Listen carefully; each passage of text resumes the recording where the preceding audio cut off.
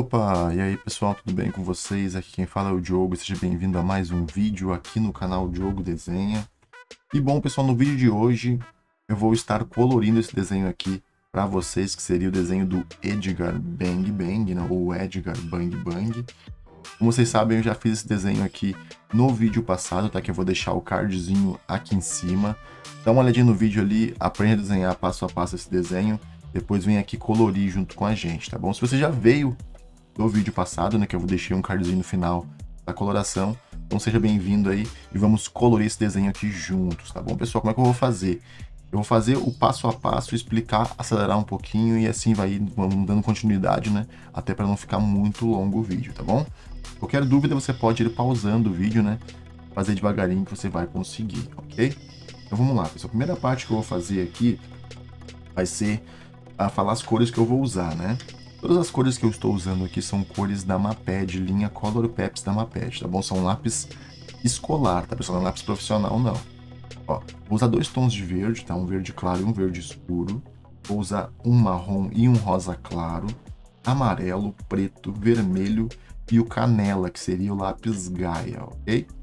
Essas cores que vamos usar aqui neste vídeo, tá bom? Ah, o cinza também que eu não peguei aqui, esqueci de pegar o cinza.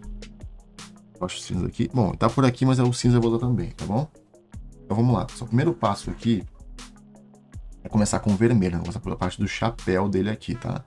Vou passar uma camada todinha de vermelho aqui nesta base aqui do desenho. Ó. Eu passo com uma camada bem levezinha. Primeiro fazer esse cantinho estenderem, ó.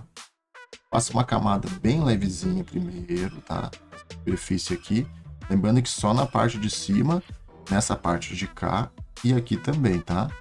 Então passo uma camada bem leve primeiro.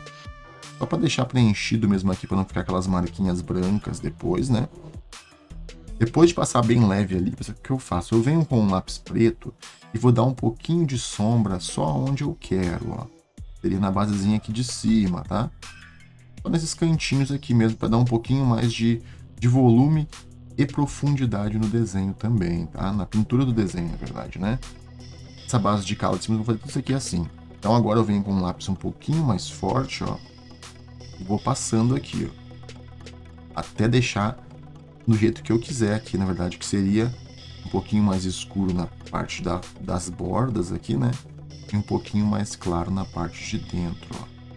E assim a gente vai fazendo em todo o desenho, tá bom? Vocês vão ver como vai ficar agora. Vamos lá, então.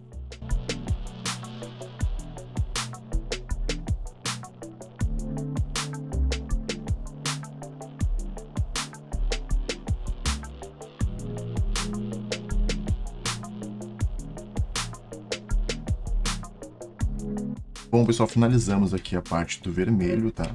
Vou usar agora o lápis cinza. É só uma pequena camadinha aqui, ó, nesta parte do chapéu, tá? Deixar um pouquinho mais de volume também, né? Só nas bordas mesmo aqui. Pouca coisa, tá, pessoal? Não precisa ser muito, não, ó. Pode passar um pouquinho ali, trazer um pouquinho da borda até aqui, ó. Vai dar um pouquinho mais de volume nesse desenho. A gente pode apertar um pouquinho mais nos cantos, Aí vai dar a impressão de ter mais profundidade. Ó. Menos assim. Aqui é a mesma coisa, a gente aperta um pouquinho mais nos cantos, tá? E vai puxando esta linha para cá. Ó. ó, isso aí, pessoal. Tá vendo? Não tem muita dificuldade não, né? É simples, tá? Fez essa parte, então aí. Vamos fazer a segunda parte agora, que é a parte do chapéu aqui, tá? Vou usar dois tons de verde o marrom e o amarelo para fazer essa parte, tá bom? Vocês vão fazer agora.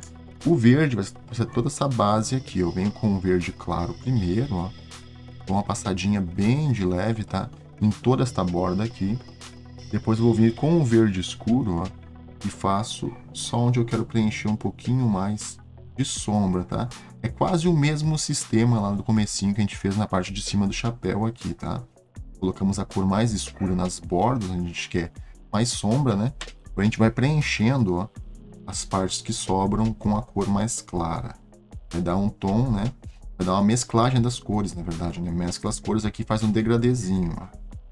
Se ficar um pouquinho claro demais, a gente passa um pouquinho mais a parte do lápis, ó. Na parte da sombra, né? E assim vai indo. Lembrando, pessoal, isso aqui serve tanto para a parte escura quanto para a parte clara, tá? Se caso ficar muito claro, escurece um pouquinho mais. Se ficar muito escuro, esclarece um pouquinho mais. Seria passar a tonalidade mais fraca por cima também aqui, ó. Beleza? Então vai toda essa parte de cá. E vou usar também aqui o amarelo e o marrom para fazer essa parte daqui, ó. Como é que vai ser aqui? A gente passa a mesma coisa, só que agora com o amarelo, tá? E o marrom faz a mesma coisa. A gente vai passar bem de levezinho, só que na parte de baixo agora, ó. Isso em todo esse formato aqui do desenho. A gente passa o amarelo primeiro, tá? E depois vem com o marrom novamente, vai dar uma passadinha de leve só na margem de baixo ali, ó. Você pode passar o amarelo novamente, tá?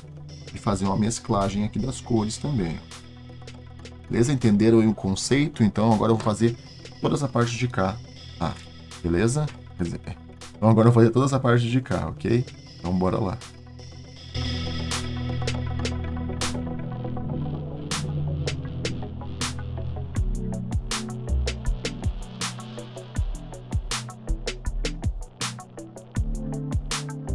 Pessoal, voltando para aqui agora, a gente vai fazer a parte do cabelo. O cabelo eu vou usar aqui só o preto, tá, pessoal? Vai ser bem simples de fazer mesmo. O que eu vou fazer aqui? Eu vou usar o, o lápis preto, vou passar ele um tom mais fraco primeiro, tá? Quer dizer, sem pressão no lápis, né? Sem pressionar o lápis, por exemplo, assim, ó. E na parte onde eu quero deixar ele mais escuro, para dar um brilho no cabelo, vou passar ele com um pouquinho mais de pressão, ó. Então a gente vai fazer Veja nessas bordas do final aqui, ó, a gente passa um pouquinho mais de pressão no lápis e vai colocando assim um sombreado melhor, ó. Pode deixar um pouquinho mais claro no meio, tá? Vai dar uma, uma tonalidade um pouquinho mais de luz, de iluminação no desenho também ali, ó. Tá bem legal, tá? Lembrando, pessoal, sempre falo, né? Se você for destro, tá? Sempre comece colorindo assim, tá? Pra você não borrar o desenho. Então use uma folha embaixo, né? Não pegar na pintura, beleza?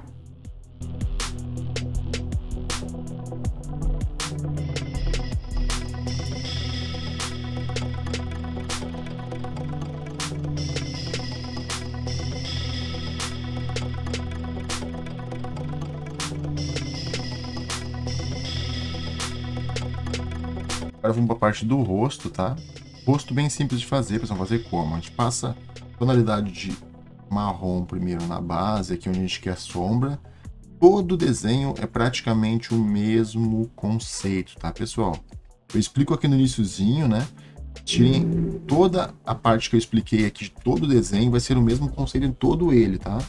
Então, só usar a mesma técnica aí, pessoal, que vai dar super certo a sua pintura. Passa o marrom ele passar mais um pouquinho. Tudo no que é sombra, ó. Depois vem com o rosa claro. Passa mesclando, encostando no marrom aqui, ó, e puxando para as bordas, ó. Vai dar uma misturada nas duas cores e vai ficar bem legal o resultado. Não tem mistério, pessoal. Tudo que eu falei aqui no começo do vídeo, tá? Tanto na parte do chapéu, quanto aqui na parte do cabelo, agora na parte do rosto.